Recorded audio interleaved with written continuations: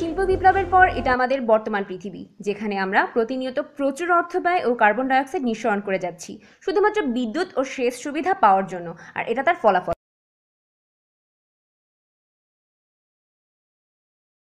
অথচ এই বিদ্যুৎ উৎপাদন যখন পৃথিবীর কার্বন বৃদ্ধির অন্যতম কারণ তখন এই বিদ্যুতের অপ্রতুলতাই বাংলাদেশের উন্নয়নের প্রধান অন্তরায়।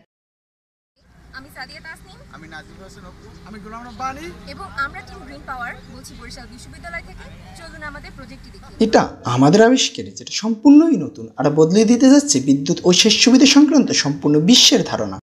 এটা তার সাইজ ও গ্রাহকের চাহিদা অনুযায়ী স্রোতে হুইল ঘুরিয়ে বিনা খরচে ও কার্বন মুক্তভাবে দশ থেকে দু হাজার বাড়িতে বিদ্যুৎ এবং আপ অ্যান্ড ডাউন প্রসেস ব্যবহার করে তিন থেকে পনেরো একর কৃষি জমিতে পানি সেচ দিতে পারবে।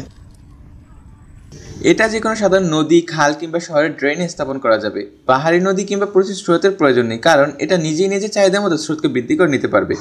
পানির উপর ভাসমান থাকবে এবং সম্পূর্ণ নদীর মাত্র দশ থেকে পনেরো ফুট জায়গা ব্যবহার করবে। কোনো ড্যাম কিংবা বাঁধ নির্মাণ করতে হবে না, তাই স্রোতের স্বাভাবিক প্রভাব ব্যাহত হবে না।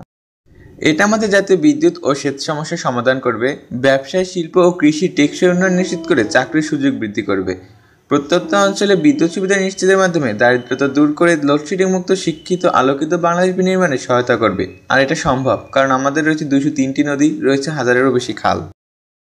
আর সবচেয়ে বড় কথা, এর কার্বন মুক্ত সার্ভিস বাংলাদেশ সহ সম্পূর্ণ বিশ্বকে ভয়াবহ পরিবেশ বিপর্যয়ের হাত থেকে রক্ষা করবে।